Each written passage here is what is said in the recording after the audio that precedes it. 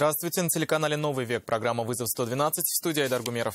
И сегодня мы расскажем, что жертв насильника, разгуливающего по гостинице, могло быть и больше. Глаза открыли, глянули, стоит. Ну что надо? Он что-то буркнул. Почему постояльцы оставляли двери в номерах открытыми? Машину видела, но остановиться не смогла. Перестроилась на правую, вижу, что он стоит, торможу, мне машина тормозит, я въехала. Мазда протаранила джип. И сгорел в огне в своем доме. Туда невозможно зайти. Я говорю, может быть, баню он оказался дома. Крупный пожар в Нижнекамском районе. Это не только прямо сейчас. Протаранила сзади стоящий автомобиль. Автоледи, управлявшая Маздой третьей модели, въехала в джип, который в тот момент стоял с включенными аварийными сигналами прямо на проезжей части на улице комиссара Габишева. По версии водителя внедорожника, на легковушке были установлены на колесах летние шины. Именно поэтому она не успела избежать столкновения. Динара Камалова продолжит. Стоял на аварийках, меня въехали. Молодой человек признается, что перед тем, как сесть за руль, у него было нехорошее предчувствие. Думал даже ехать на такси, но потом отогнал от себя мрачные мысли. Но предчувствие не подвело. Он рассказал, ехал домой с улицы Кулгали, направлялся на Академика Завойского. Но когда проезжал по улице Габишева, машина сломалась. Остановился, включил аварийные сигналы. Но не прошло и пары минут, как он почувствовал удар сзади. Его машину протаранила автоледи на Мазе третьей модели. Девушка, как сама призналась, увидела стоящий автомобиль, но не успела остановиться, потому что на ее автомобиле установлены летние шины. Я перестроилась на правую, вижу, что он стоит, торможу, мне машина тормозит, я въехала. Сама же автоледи, казалось бы, признала свою вину. Говорит, мол, да, я не успела остановиться, и поэтому произошел удар. А вот подоспевший на место происшествия ее друг другого мнения. Он считает, что вина лежит на обоих участниках, ведь на этом месте не то что стоянка, даже остановка запрещена. Водители остались дожидаться сотрудников автоинспекции, которым и предстоит установить степень вины участников происшествия. Динар Камалова, Нафиса Минязова, Константин Бушуев, вызов 112. Три пенсионера попали под колеса автомобиля в Нижнекамске. Водитель «Лады» совершил наезд на пожилую пару. Люди переходили дорогу в неположенном месте. Практически аналогичная ситуация, только с гораздо более тяжелыми последствиями, произошла днем позже. Подробнее расскажет Алина Бережная. Ехал по проезжей части, она резко выбежала на дорогу. Андрей приехал в Нижнекамск по работе из Рыбной Слободы, но планы резко поменяла внезапно выбежавшая на дорогу пенсионерка. Я затормозить пытался тормозить. Машина скользила, я левее от нее взял, но все равно не успел затормозить. Она упала, ну, шип ее. Потом скорую вызвали.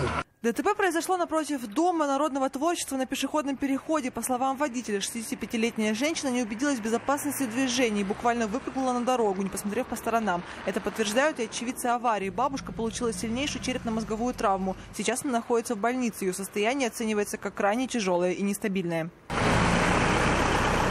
Еще один наезд произошел на проспекте Шинников. Молодой водитель «Лады» сбил двух пенсионеров. Они переходили проезжую часть в неположенном месте. В зоне видимости находился пешеходный переход, однако они в нарушении правил дорожного движения переходили дорогу в неположенном месте. В результате наезда оба пешехода получили телесные повреждения. Но, скорее всего, не только невнимательность людей стали причинами этой аварии. Немалую роль, вероятно, сыграло и состояние дороги. Она сильно разбитая и даже не освещена. Алина Бережная, Эльвира Софиулина, Фахри Исламов, Рафаэль Ракипов. Вызов 112. Грузовик МАН сбил 50-летнюю женщину сегодня днем на улице Даурская в Казани. По предварительной версии, пострадавшая переходила дорогу в неположенном месте, когда ее сбила многотонная машина. В результате ДТП женщину госпитализировали в Республиканскую клиническую больницу. У нее подозрение на закрытый перелом бедра. Жертв насильника, разгуливавшего по гостинице в Казани в ноябре минувшего года, могло быть и больше. Сегодня на заседание пришли свидетели, которым мужчина заходил в номер, но, испугавшись, поспешил покинуть комнату. Напомним, 36-летнего Алмаза Нуриева обвиняют в изнасиловании женщины и насильственных действиях в отношении двух несовершеннолетних девочек. Почему двери в номера были открыты? Айрат Назипов спросил у людей, живших тогда в гостинице. Нас часто бывает путают комнат. Мы думали, просто какой-то жилец, что просто, ну, может, выпивший этажи попутал. Эта женщина, так же как ее соседки по этажу, могла стать жертвой насильника. В ту ночь с 4 на 5 ноября минувшего года она была в гостинице. Рассказала, что около двух часов ночи к ним зашел мужчина. В этот момент они с семьей спали и проснулись лишь от загоревшейся лампочки. Глаза открыли, глянули, стоит. Ну, что надо? Он что-то буркнул. Мы таких нету. И пошел. Только утром узнали, что он также зашел еще в несколько номеров. В отношении двух девочек совершил насильственные действия сексуального характера. Еще одну женщину изнасиловал. Двери в номера всех потерпевших были открыты. В комнатах было душно, и это был способ проветрить помещение. Впрочем, и открыть замки, говорит, труда не составило бы. Двери, как у нас вот, выходили, э, закрывали. Ну, у нас там код, он простой, там нажми любые кнопки, он они открылись. Тем более последний раз двери ну, вот, выходили на балкон мужчины курить. Они закрывали двери. Потом у нас не работал замок, потом мы его сделали. Мы закрываем, потому что у нас и вещи там, и дети бегают. В отношении подозреваемого возбудили уголовное дело по двум статьям. Кроме того, к дисциплинарной ответственности привлечены сотрудники гостиницы. Сегодня судебное заседание отложили до 9 апреля. Не все свидетели явились на процесс. Айрат Назип, Азат Самигулин, вызов 112.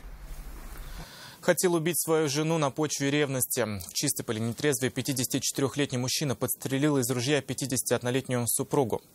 Как установили следователи, во время семейной ссоры подозреваемый достал из сейфа оружие и выстрелил жене в живот. Получив сквозное ранение, женщина потеряла сознание, а предполагаемый злоумышленник ушел в другую комнату. Сын пары, ставший свидетелем преступления, вызвал на место экстренные службы. К их приезду пострадавшая пришла в себя и смогла выползти на веранду дома. Сейчас она госпитализирована, а ее супруг отрицает свою вину. В отношении него возбуждено уголовное дело по статье «Покушение на убийство». На данный момент мужчина находится под стражей. На стройке в Казани погиб 52-летний рабочий. Мужчина сорвался с высоты пятого этажа строящегося здания по улице братьев Баталовых. По предварительным данным, мужчину пригласил работать на стройку его знакомый, при этом его не оформили официально. Во время строительно-монтажных работ мужчина сорвался с высоты, он получил травмы, несовместимые с жизнью, и скончался на месте. В ходе расследования следователи выяснили, что место проведения работ не имело защитного заграждения. По данному факту Следственным органом Следственного комитета Российской Федерации по Республике Татарстан возбуждено уголовное дело по статье «Нарушение требований безопасности при ведении строительных работ». А в настоящее время на предприятиях, э, занятых в возведении объекта, проведены обыски и изъята необходимая документация. Житель Высокогорского района захлебнулся в выгребной яме. Трагедия произошла в деревне Альдермыш. По предварительным данным, 61-летний мужчина, страдавший эпилепсией, занимался чисткой выгребной ямы, изготовленной из вкопанных в землю автопокрышек. В какой-то момент он упал и застрял на глубине трех метров. Самостоятельно выбраться из ловушки мужчина не смог. Жена поспешила мужу на помощь, однако к этому моменту он был уже мертв. Она попыталась достать его тело вместе с соседями, но в результате им пришлось вызывать сотрудников экстренных служб. В настоящее время тело направлено на экспертизу, проводятся мероприятия, направленные на установление всех обстоятельств произошедшего. По результатам проверки будет принято процессуальное решение. 52-летний мужчина погиб в результате пожара в Нижнекамске. Трагедия произошла в поселке Ключ Труда. Возгорание произошло вечером, когда хозяин дома лег спать. Пожар был настолько сильным, что за считанные минуты уничтожил все постройки на участке. Подробности у Лины Зинатулиной. Мощный очаг заметили соседи. В районе 9 часов вечера они вышли во двор и увидели зарево. Горела крыша бани, сарай, а потом уже и веранда. По предварительным данным, возгорание произошло вечером, когда хозяин дома лег спать. В поселок он приехал на выходные. Попались, оказывается, вышел из бани даже, говорят. Вроде бы так. Из бани вышел, и значит... Огонь, раздуваемый ветром, быстро охватил дом и перекинулся на соседние строения. Всего пламя охватило площадь 54 квадратных метра. Благодаря оперативной работе спасатели не допустили перекидывания огня на соседние дома. Из всего, что уцелело, лишь машина хозяина. О состоянии мужчины соседи не знали и до последнего надеялись, что он живой. Туда невозможно зайти.